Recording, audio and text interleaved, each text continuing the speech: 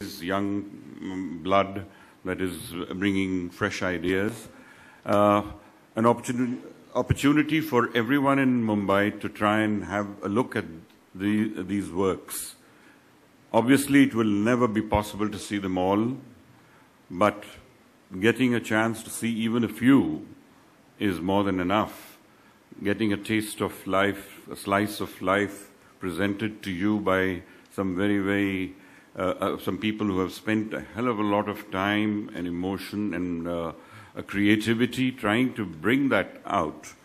And uh, for this one week, which is full of activities, even other than movie making, discussions by all the um, makers and, uh, um, as they say, masters of cinema, talking about cinema it would be very, very uh, useful to young students of cinema. Uh, the details, I'm sure, will be handed over to you if they are not, they haven't already been given to you. And I would also like to reiterate my thanks to this uh, wonderful selection committee sitting in front of me and the head behind me. Uh, they, uh, they, they must have uh, really done, uh, it, it, must have been a very difficult task to come across all this. The jury will ultimately decide what's best. We will wait for that moment as well.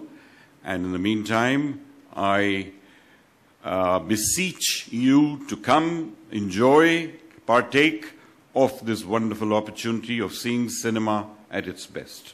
Thank you.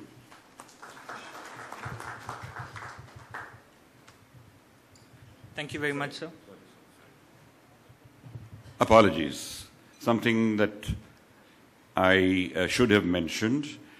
There is a special selection, uh, a section of uh, restored films uh, being shown at this festival, and one of the films has been restored by none other than Mr. Amitabh Bachchan. The film is called Floor Walker by Charlie Chaplin.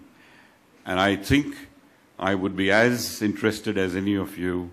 We'd all, all love to see Chaplin has been my favorite.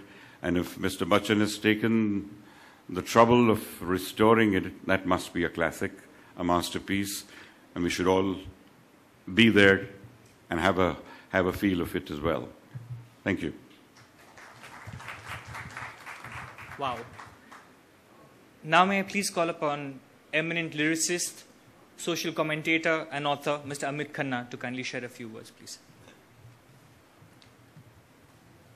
Good evening. Uh, as uh, Mr. Benegal mentioned, uh, we are uh, now in the 15th year of this Mumbai Film Festival. This began as an idea when a group of uh, about, I think, half a dozen of us met under the leadership of Mr. Hrishikesh Mukherjee uh, 15, 16 years ago and said that the filmmaking capital of India uh, deserved to have a festival of its own. Uh, and so it started off as a small idea of by a group of filmmakers, and we thought that let's build on it. And it's absolutely gratifying to see that in 15 years we have actually become one of the major festivals in the world.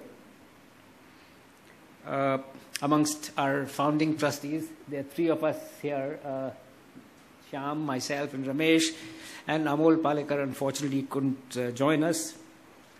Um, some of the others who are not present here do in their own bit, uh, you know, since they're all practicing filmmakers, they do contribute in their own way but are not able to be present, uh, physically present every time. But their support is something which we treasure and we hope to get, you know, there's a whole bunch of younger filmmakers uh, who've got involved and it always helps sustain this movement of, of this because uh, to, to us, the Mumbai Film Festival is like a big movement of, of, for cinema. Five years ago, uh, Reliance Entertainment, more specifically Mrs. Tina Ambani, got involved, and that actually proved to be a catalyst of, for, for growth, and we are all thankful to her for her continued support. Uh, there is there are several interesting, uh, you know, asides about this festival. Uh, I've been to festivals around the world. I keep go- going them there every now and then. This has become, in terms of the the kind, as Mr. Benegal and, and others have said, uh, it's the, the range of films which you can see here is quite staggering, uh, even from when you compare it with the, the major festivals of the world. Uh, so that I think is a very distinctive achievement. Uh, we have also, as you can see, a very eminent jury. You have a couple of Oscar winners who are uh, here, Academy Award winners. Uh, the American uh, Academy uh, is, for the first time, going to present, as Mr. Benegal said, specific workshops. We are happy to have the involvement of the Society of Motion Picture and Television Engineers, the apex body of, of uh, all the technical people from the world of cinema and television who are overseeing the, the technical quality of projection and sound.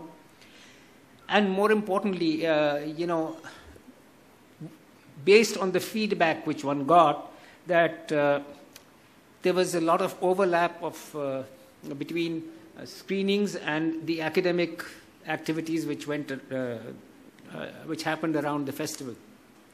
So we've decided to keep the afternoon slot free so that more people can attend, you know, open forums, workshops, and master classes. Because one of the idea of having uh, a festival uh, uh, in Mumbai, as distinct from other festivals in India and, and abroad, is to give a chance to our young and aspiring filmmakers uh, a platform to interact with some of the best uh, from around the world. Uh, you're all familiar uh, with the jury. I mean, the, the three juries are quite stunning. You know, I mean, I was even I was taken aback when I read some of the names, um, and very diverse and talented people. The other thing which uh, I'd like to mention is that one of the problems which uh, plagued Indian film festivals for years was the absence of a proper film market. Since I had participated in film markets around the world, I discovered that it's actually just two or three markets internationally. The Cannes, Berlin, a little bit now in Toronto, uh, where most of the and, and AFM, which is North American film market, where most of the business gets conducted. So there was no point in trying to replicate that kind of thing, and that's what was happening over the last 40 years at IFFI and other festivals, where they were trying to create a market like Cannes. You cannot because you, it's already established. This does its work, and there's no point in creating another hub. So after a lot of thinking, what we decided two or three years ago was to create the Mumbai Film Mart, and I'm happy to inform you that it's through the efforts of the Mumbai Film Mart in the last two or three years that we have managed to break through uh, the screening or, or, the sale of Indian films in three or four non-traditional territories. For example, uh, it was at the Mumbai Film uh, Mart three years ago that Japan opened up, uh, Taiwan opened up, South Korea opened up. This year we are hoping to have some breakthrough in, in Latin America and other, other non-traditional markets. So it's a very focused business-to-business uh, platform. Uh, there's a special aside this year called the Project Room, where uh, young filmmakers or other filmmakers can show their uh, under production films to not only buyers but also, uh, you know, the directors of other foreign festivals who are going to be present. So this is becoming a large kind of uh,